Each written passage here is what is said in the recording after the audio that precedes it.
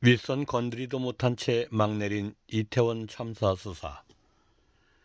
경찰청 특별수사본부가 73일간의 이태원 참사설을 마무리하고 13일 수사 결과를 발표했다. 김강호 서울경찰청장을 비롯해 23명을 업무상 과실치사상 등 혐의로 검찰에 송치했다. 이 가운데 구속 송치된 이들은 이임재 전 용산경찰서장, 박형 용산구청장 등 6명이다. 하지만 이상민 행정안전부 장관과 오세훈 서울시장, 윤희근 경찰청장은 모두 무혐의 내사 종결 처분했다. 성역 없는 수사는커녕 윗선에는 가닿지도 못한 채 수사가 막을 내리고 말았다. 특수본 수사는 애초부터 경찰의 셀프 수사라는 지적과 함께 경찰청장, 행안부 장관으로 이어지는 지휘체계 윗선까지 제대로 수사할 수 있겠느냐는 불신 속에 시작됐다.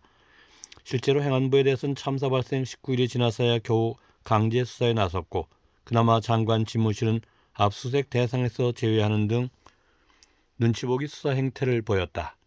윤익은 경찰청장의 경우 수사 초기에 집무실을 압수수색하는 등 수사 의지를 보인 듯 했지만 결국 소환 조사 한 차례 없이 내사 종결 처분했다. 서울시에 대한 수사도 마찬가지였다. 해안부 서울시 경찰청 등 상급기관의 책임과 관련해 특수본은 사고 발생에 대한 예견 가능성 등 구체적 주의 의무 위반이 있다고 보기 어렵다고 밝혔다.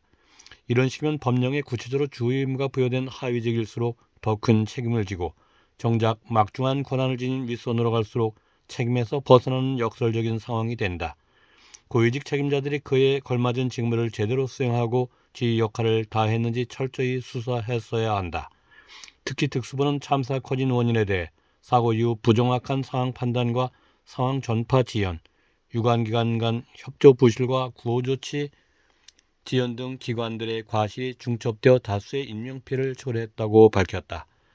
경찰, 지자체, 소방, 서울교통사 등 각 기관이 제 역할을 유기적으로 수행하지 못했다는 것인데 그렇다면 이들 기관을 지휘해 재난 상황에 대처하는 컨트롤 타워 기능이 부실했다고 볼 수밖에 없다.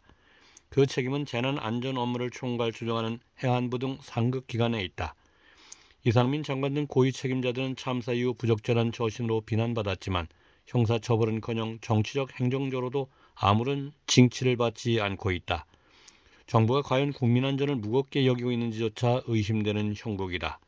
경찰로부터 사건을 넘겨받은 검찰은 추가 압수색을 벌이는 등 본격적인 보안 수사에 나섰다.